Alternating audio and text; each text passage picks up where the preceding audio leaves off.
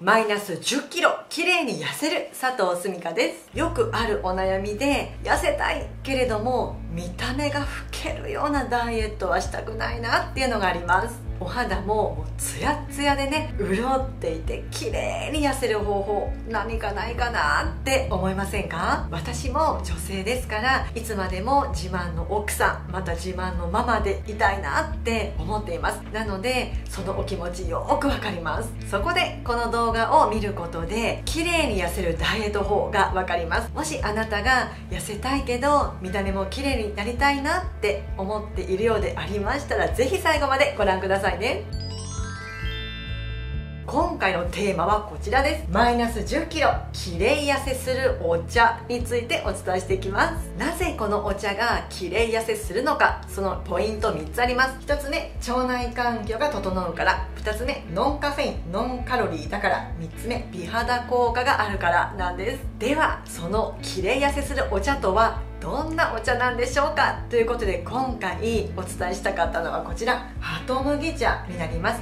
先ほどの切れ痩せするポイント3つを全部クリアしているお茶になるんですよね。ちょっと見ていきましょう。まず脂肪の吸収を抑えてくれます。そして、まあ、腸内環境が整います。便秘改善にもなります。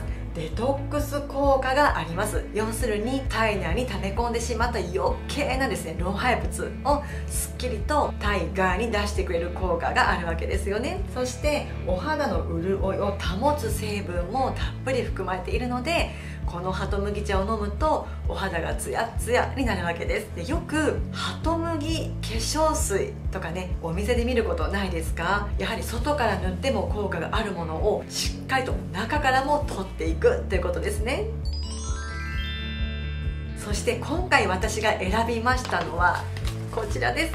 もうパッケージからしてすごくね可愛いんですよ。農薬不使用で育てた有機ハトムギ茶。有機原料100%ということでこの JAS マークがちゃんとついている認定の商品になっています。でこれはですね私が大好きなお店のまたカルディさんでね見つけてはあと思ってすぐね買ってみました。でこれがやっぱりですね何がいいっていうのはやっぱこの農薬不使用で育てた有機のハトムギを使ったお茶だからなんですよ。なので例えば、まあ、いろんなお茶ありますけれどもハトムギに関してもそうです。農薬たっぷり染み込んだ茶葉をですよわざわざ煮出して飲んでみてください。どんな風になると思いますか？余計太ります。すごく良くないんですよね。結局そういった農薬を取り込んでしまうと肝臓や腸がものすごく負担かかるわけですよね。で結果代謝が落ちて太ってしまうわけです。ですからポイントはこの無農薬栽培であることっていうのがどの食品に対してもですね一緒なんですよね。ですから今回選んだのはもちろんこの有機栽培の茶葉でできたハトムギ茶ということになります。ります。ではここからどのようにこのハトムギ茶を飲めばさらにその切れ痩せする効果を得ることができるのかポイント3つお伝えします。1つ目です。一度に大量に飲まないですね。いくらこのハトムギ茶が切れ痩せするからといってこのお茶ばっかりですね。ガブガブ大量飲んでしまっては NG なんですよね。飲みすぎは結局腸に負担をかけてしまって代謝が落ちて太ってしまいますね。先ほどの農薬のお話と一緒です。ですから取りすぎ。取っていけないものは取らないということですね。2つ目1日に12杯程度で十分ですよ。ということ。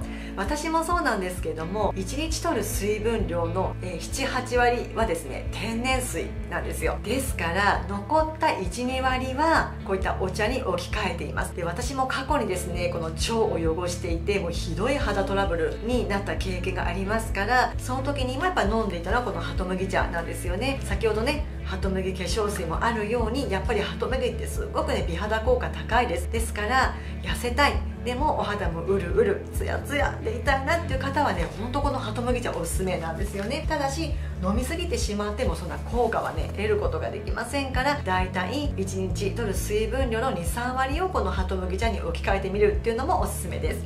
3つ目です。ぜひホットで飲んでください。ですよね。これをですね、まあ、キンキンに冷えている冷蔵庫から取り出したものにさらにね氷を入れて飲むとかやめてくださいね。かえって太ってしまいます。なぜかというと腸が一気に冷える。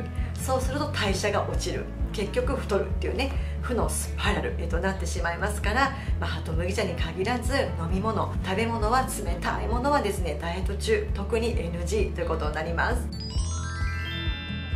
いかがでしたか？もし簡単にね切れ痩せしてダイエットしたいなと思っているようであれば今お伝えしたこの有機栽培のお茶っ葉でできたハト麦茶をまずはホットで34ヶ月は毎日飲んでいただきたいなと思います。今回の動画の内容は以上になります。このお話がわあ役に立ったなと思っていただけましたらいいねボタンやチャンネル登録していただきますととっても嬉しいです。それでは次回の動画でお会いしましょう。